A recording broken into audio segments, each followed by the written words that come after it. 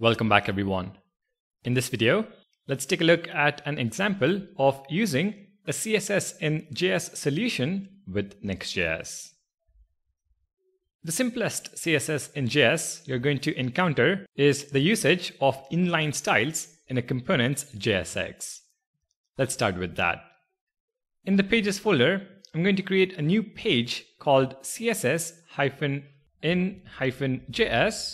dot js.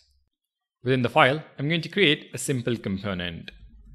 Function css.js, and we are going to return an h2 tag with the text hello world.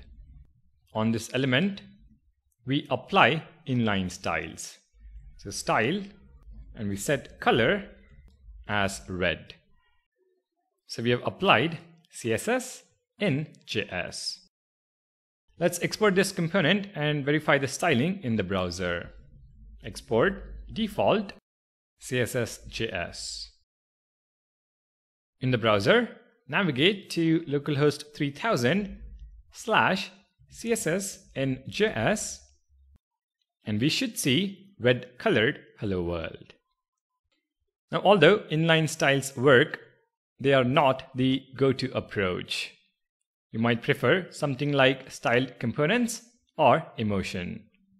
Let's take a look at styled components in this video. First, install the package.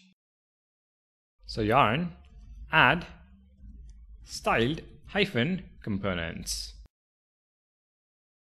Once the package is installed, we provide a very simple theme to our application.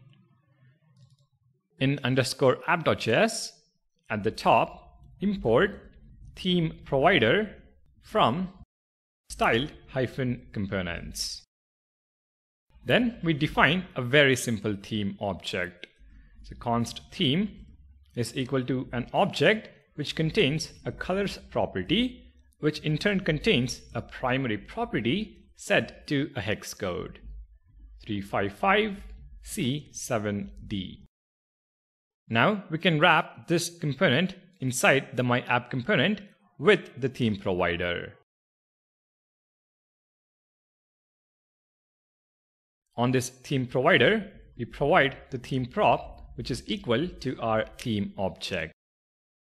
Next, in our CSS.js file, at the top, import styled from styled components and then we create a styled component.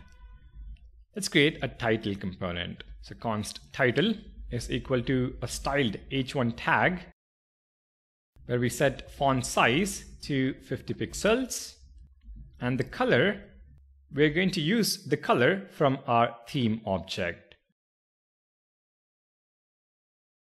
Theme we're going to return theme.colors.primary. In the JSX, let's now return the title. Styled component. If you now go back to the browser, you should see the heading in the hex color specified with a font size of 50 pixels. Our styled component is working as expected. So pretty simple to integrate a CSS in JS solution wrap the component in underscore app.js with the theme provider, and everything else remains pretty much the same as a typical React app with styled components.